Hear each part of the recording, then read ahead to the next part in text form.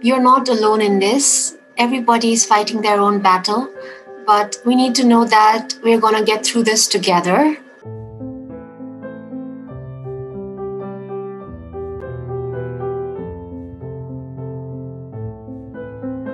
I know your lives have been disrupted.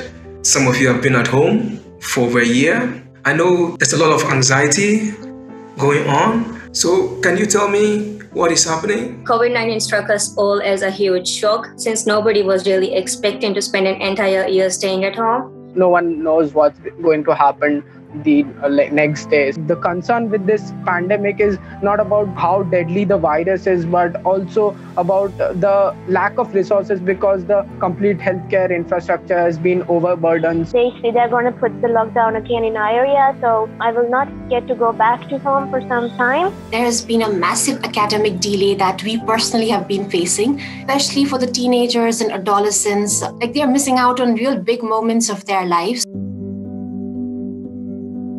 It is hard to stay locked in a place with all our thoughts, which is a scary thing to control. I do meditation on a regular basis, which really helps me to retain my focus on things.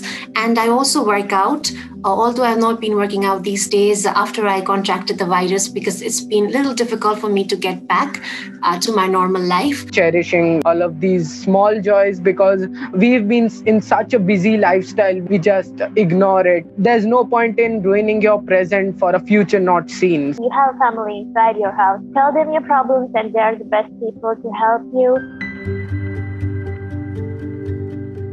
It is not that easy to convince our parents to allow us to get professional help, as m- many people do not believe in mental health, that it is a real issue. A lot of things might be haunting people, so I do check on the people I love, I care about, and I think everybody should do that. To uh, strengthen our bonds between our family members, I think it's a great way to relieve your stress by talking to each other and telling everyone your problems. Not spreading in misinformation and always being optimistic throughout the life not to be addicted too much to social media and enjoy the nature. There is no specific time and age to be successful.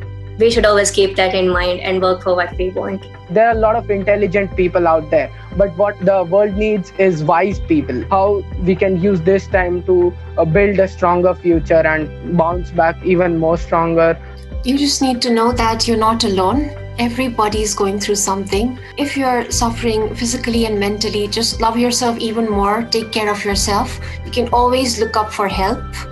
It will end someday, but till then, we have to be patient and we have to stay optimistic. Thanks so much for sharing your experiences with me today. The pandemic has shown us that mental health is as important as our physical well being. It's a difficult time. Please be safe and be strong. Please remember the three W's. You wear a mask, you wash your hands frequently with soap, and you watch your distance. And please, please, please, please stay in touch with your friends, support those who are going through a difficult time.